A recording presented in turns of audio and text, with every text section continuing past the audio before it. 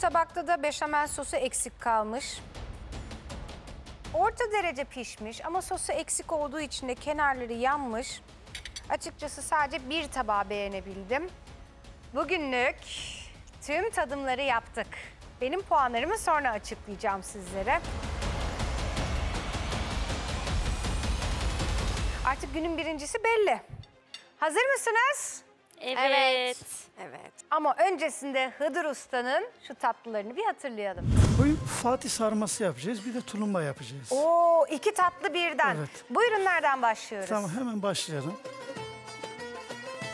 Bu Fatih sarması. Evet. Kekinde neler var? Kekinde yumurta var. Portakal esansı var. Aa, Evet. portakal kabuğu rendelesem olur mu? Tabii ki de tabii ki de portakal kabuğu da olabilir. Portakal esansı da olabilir. Tamam. Hatta birer tane de limon rende yapabilirsiniz. Olur.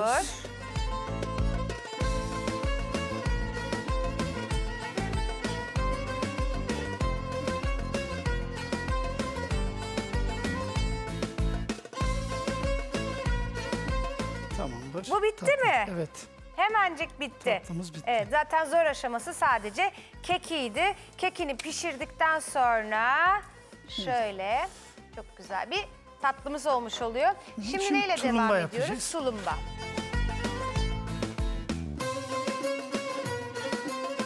Şimdi biz güzelce hamuru yağa sıkıyoruz. Ama bu hamurda neler var? Bu hamurda bir kilo su var. Şey bir buçuk kilo su var. Bir kilo un var. 13 tane yumurta var. Çok az bir şey tuz koyabilirsiniz. Bayağı çok yumurta var. o Tabii yüzden ki. bu kadar sarı. Evet.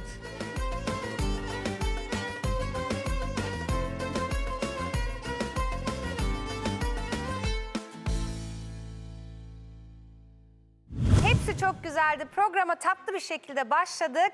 Şimdi günün birincisini açıklayarak tatlı bir şekilde devam edelim. İki çeyrek altınımı aldım.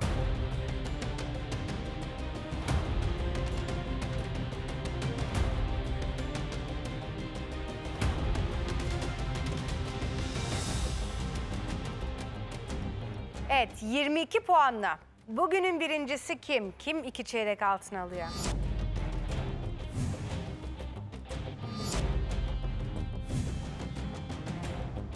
Birinci olan 22, ikinci olan da 17 puan aldı. Açıklıyorum artık. Günün birincisi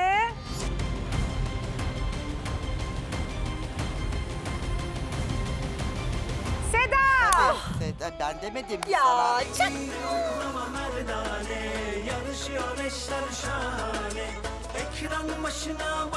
Öyle, Evet Seda benim sana puanım 3'tü. Gamze'ye 5'ti. Ama puan farkı vardı bayağı. Buse size 2 puan verdim. Gülay maalesef size de 1 puan verdim. Kuru olan bizim miydi? Evet. Çünkü ne yazık ki pişmemişti. Derya bayağı Hanım. dişe geliyordu. araya girdim özür dilerim. Ben bu altınları Gül anneme vereceğim. Çünkü o bugün böyle çok üzüldü. Dünden beri çok üzülüyor aslında. Bu anne konuları geçtikçe akşam üzgündü, şu an üzgün. Ben bunları bugün sana hediye ediyorum. Nur Hanım'dan da bir tane aldım. Onlar senin olsun. Gül anneciğim sen hiç üzülme. Gerçekten çok güzelsin, çok tatlısın. Hepimiz seni çok seviyoruz. Ben de kızımı çok seviyorum. Ben de bunları sana tekrar geri veriyorum. Sen zaten bana veriyorsun. E tamam o zaman. İyi, ısrar edemeyeceğim. İtiraz Ben etmiyorsunuz. ona başka bir hediye alırım. Gül anneciğim sen burada herkesin annesi oluyorsun. Evet. Ben bir şey söylemek istiyorum. Söyle.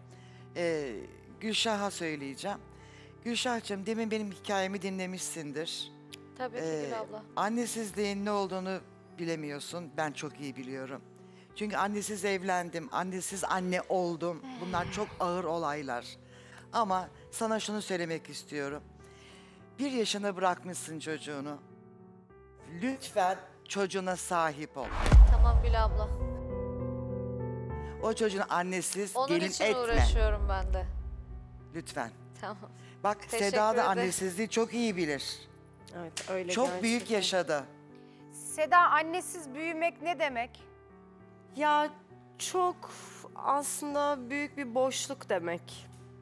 Yani tamam benim anneannem vardı ama şunu bil ki Şimdi doğru kelimeyi seçmek istiyorum. Anneannen seni çok güzel bir şekilde Anneannem büyüttü. öyle ama- Deden vardı yanında. Anneye benzemez. Anne çok ayrı. Yani evlendiğinde işte ağlatmak da istemiyorum onu ama okul çağları en kötüsü hastane odası. Evet. Gerçekten en kötüsü hastane odası yani. Doğum yaptığın zaman. Anneni en çok doğum yaptığında mı aradın? Yanında olmasını çok mu isterdin? en çok o koyuyor yok, zaten. Ben Harun'la evlenene kadar annemin eksikliğini hiç hissetmedim biliyor musunuz? Bunu canı gönülden ve kalpten söylüyorum. Harun'un ailesine girdikten sonra ben annemin eksikliğini hissetmeye başladım. Evlendiğim ilk günden itibaren.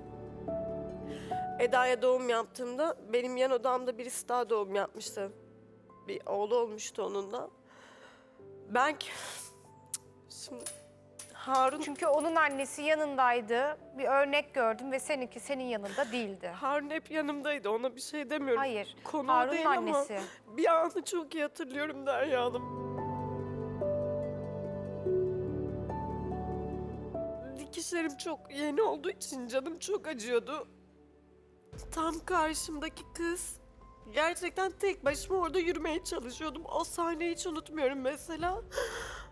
Yürüyemiyorsunuz yani inanılmaz bir acı. Belini doğrultamıyorsun. Kız annesinin koluna girmiş mesela yürüyordu. Ben de kendi kendime şöyle geçmeye çalışıyordum. O sahneyi hiç unutmuyorum ben. Orada hissettim.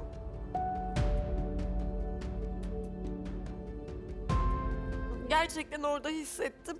İşte ben hep diyorum yani bazıları şanslı doğuyor, bazıları güçlü. Herhalde ben de güçlü mü doğdum, ne yaptım bilmiyorum. Sen çok güçlü bir insansın Seda. Üzme kendini daha fazla. Örneksin, gerçekten güçlüsün. Senin durumunu yaşayan birçok kadın var. Ve onlara da ilhamsın. Evet, Gülşah da anlaşılan bu hikayeden çok etkilendi. Buse ile beraber dışarı çıktılar. Onu biraz orada teselli ediyor. Gelelim artık veda zamanına. Bugün buradan biri elenecek.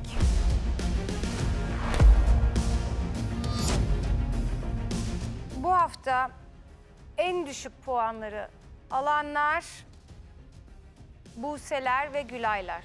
Buyurun eleme potasına.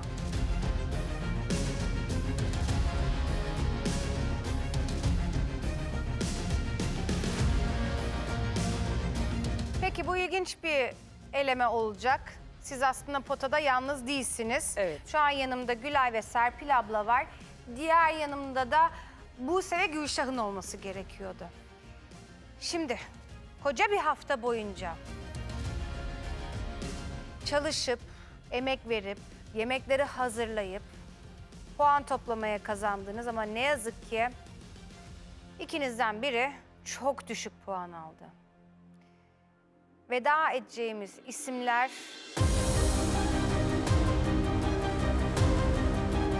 Gerçekten çok ilginç bir eleme. Sadece siz burada varsınız. Biz mi elendik? Diğer masa şu an burada olmak istemedi. Ve elenen masayı açıklıyorum.